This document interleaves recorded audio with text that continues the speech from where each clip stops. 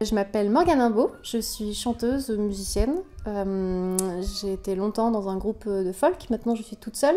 Et j'ai sorti un album qui s'appelle Amazon en 2020.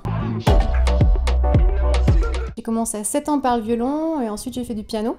Euh, j'ai toujours composé des petits thèmes un peu euh, chez moi. Moi, j'adorais la musique à l'image, c'est ce, ce qui me touche le plus, en tout cas, au niveau des émotions, plus que les chansons. Et après, j'ai intégré, le, j'ai intégré Cocoon en 2007, 2005 même exactement, le premier album en 2007.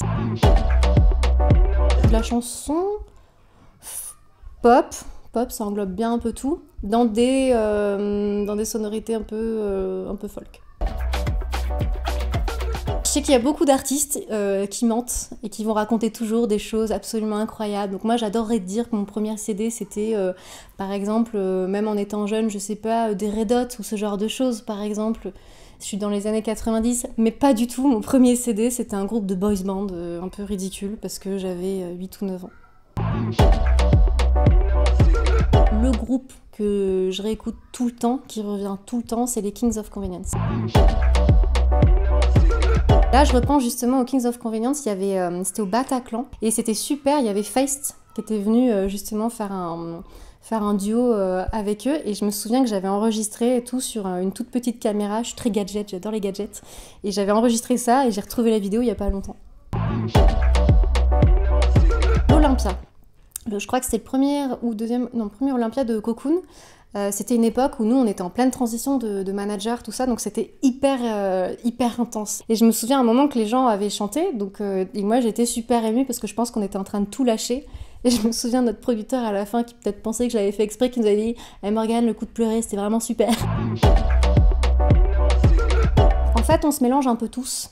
Donc moi, je sais qu'il se passe plein plein de choses. Par exemple, bah, je fais des chœurs dans le groupe dans Blessings, qui a été monté par Adam Wood. Je joue aussi avec Alexandre Rochon, euh, Alex Delano, qui sort euh, son album très bientôt. Euh, donc en fait, ce qui est super, c'est que maintenant, je sais pas, c'est qu'on a grandi, mais on est tous un peu copains. Et je crois qu'il y a beaucoup de soutien. Donc je dirais que c'est une scène qui est devenue bienveillante, celle que je connais en tout cas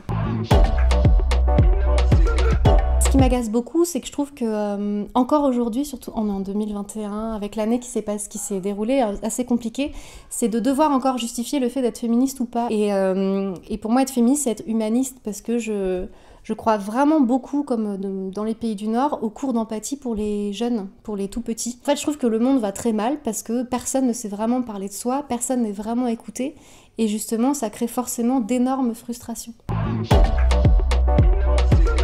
c'est en train de changer. Ça, je trouve ça assez beau, assez chouette. Par contre, on a l'impression qu'il y a une grande évolution, mais c'est un peu du n'importe quoi. C'est-à-dire que maintenant, on va faire que des choses très féminines. C'est-à-dire que c'est pas le but non plus, en fait. Je pense qu'il faut juste arriver à une vraie égalité. C'était le foie de veau avec un petit filet de vinaigre de balsamique, j'adorais ça. J'ai arrêté et maintenant, euh, je vais rester sur le chocolat, j'ai pas de plat, faut que je le trouve quoi. J'adore faire des photos partout. Vu que j'ai un peu de mémoire, je sais que j'oublie parfois euh, plein de choses, je me dis que la photo, j'adore ce côté instantané. Euh, et, je les regarde hein, d'ailleurs régulièrement. Je trouve ça très beau, ça me, ça me met dans une nostalgie hyper agréable. Ce que je trouvais super, c'était d'arriver en haut du Puy de Dôme, de voir tous les, tous les puits. Là, personne, quoi qu'il se passe dans ma vie, personne peut nous prendre ce moment et je trouve que c'est hyper important d'avoir un refuge un peu comme ça. Besoin de savoir que euh, je peux tout quitter un jour pour, euh, pour autre chose. La Norvège, que je connais le, que je connais le mieux pour l'instant, et encore, il me reste plein de choses à découvrir dans ce pays. Euh, moi, c'est les pays du Nord. Déjà, ils ont compris que la nature leur appartenait pas. C'est quand même une base. Donc, ils sont très respectueux de l'environnement, mais parce qu'ils sont respectueux aussi, de par, je pense, cette histoire de, de cours d'empathie dès le plus jeune âge, de tout ce qui est vivant, de tout le vivant. Il y a Anya Rani, euh, que j'avais découvert d'ailleurs en regardant Europa Vox, que j'ai adoré. C'est Gressolmen, c'est vraiment cette petite île euh, du fjord d'Oslo. Je conseille à tout le monde d'y aller par le ferry, c'est très simple. Et euh, c'est vraiment l'île, moi, sur laquelle j'ai laissé toutes mes, toutes mes angoisses de petite fille. Déjà que les frontières puissent réouvrir, euh, qu'on parle plus de corona et qu'on soit tous vaccinés ou pas, ou peu importe, mais que, ça circule plus, et qu'on qu'il ait peut-être un peu plus d'échanges par rapport à la musique justement.